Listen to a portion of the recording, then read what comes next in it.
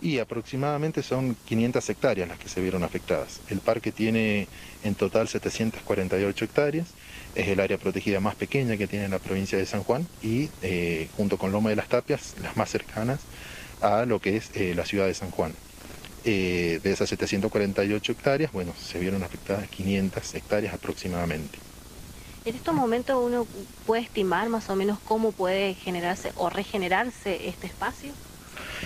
Sí, dentro de lo que es la ecología hay un concepto que se llama la sucesión ecológica y eh, se van estableciendo después de, haber sufrido eh, un impacto como el del incendio, eh, el, ecosistema tiene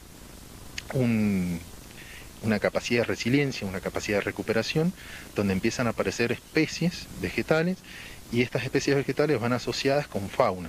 Bien, esta fauna pueden ser eh, mamíferos, pequeños mamíferos o medianos, eh, como algunos zorros, eh, también se pueden ver los cuises, que son los ratoncitos del cerco, y a su vez también va asociada muchos lagartos y algunos anfibios, ¿bien? Y a medida que se van estableciendo especies de mayor tamaño, se van asociando cada vez más especies de fauna, como más presencia de aves que aprovechan lugares para nidificar, eh, tener las crías, la reproducción y más en esta época. Todo en funcionamiento y debido al agua principalmente. El agua es fundamental para que se recupere esta área protegida. Todavía no hay una fecha, digamos, para que el Parque Sarmiento esté totalmente recuperado. Es muy difícil establecer esa fecha.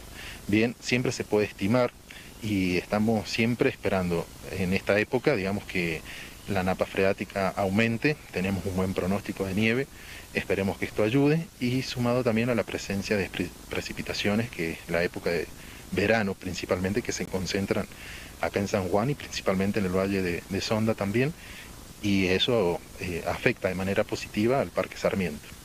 Y estos primeros días de septiembre, si bien son los primeros días, pero ya pasaron dos meses del incendio, ¿se ha ido recuperando como ustedes esperaban o ha sido mejor la recuperación?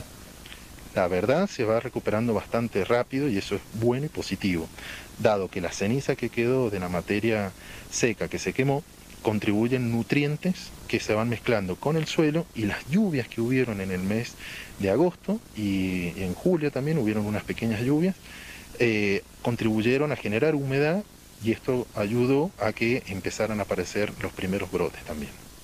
Antes lo cambiar un poquito de tema, vamos más a la, parte legislativa. Se está